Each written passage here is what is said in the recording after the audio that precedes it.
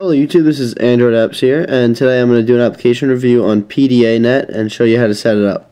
So the first thing you want to do is open up and go into the application, and you should see a screen like this. PDANet is currently turned off. Please turn it on before connecting to a computer. And um, before you actually even do anything on the phone's part, you have to download it on your computer. So let's go over to the computer right now. So once you're on the computer, uh, you just go to junefabrics.com slash android backslash. Um, so you just hit this download button right here, and it takes you to a screen with a bunch of download things. And right now I'm running this on a Mac, so if you have a Mac, you click on this one. And if you have Windows, you click on the one above that, either 64 or 32-bit. So, for example, you click on the Mac, and hit download. And I already have it downloaded. But um computer freezes of course. But once it does it's gonna open up the installer.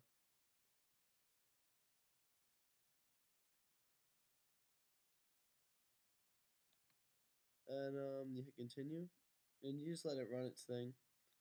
And then once you're done, it should just nothing even should pop up, it should just come up over here and now we actually have to go back to the phone. Alright, I'm back. And before you actually run it on your phone, you have to go into settings, applications, um, what is it, development, and USB debugging you have to check off. So it has to be checked. So then um, now you're actually ready to go into it. Hit PDA net.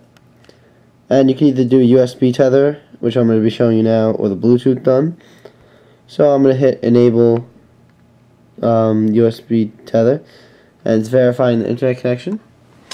So I'm actually going to show you the computer because you have to, you have to hit connect up here. Just connect. Failed connect. Um, hold on, let me hit it one more time. Connect. Alright, it connected. Now I'm just going to turn off my airport to show you that it is pretty legit. So right now it's actually connected. So we can go over to speedtest.net. Speed test. This loading over three bars of 3G connection.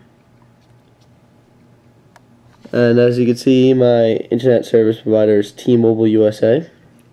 So we're going to hit begin test.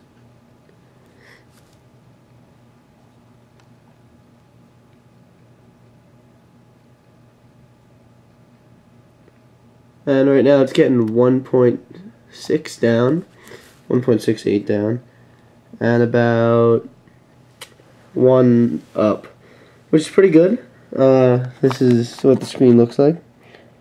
And it's running over 2 bars of 3G, so not the best, also not the worst. So um, this has been an application review of PDANet. You should check it out, it's free.